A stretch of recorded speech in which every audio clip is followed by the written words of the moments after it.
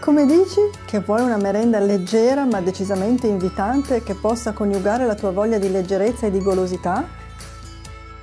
Ma lo sanno tutti che una merenda così è una vera schifezza. Ma cosa dici? Mi dovrebbe cadere un asteroide in testa adesso?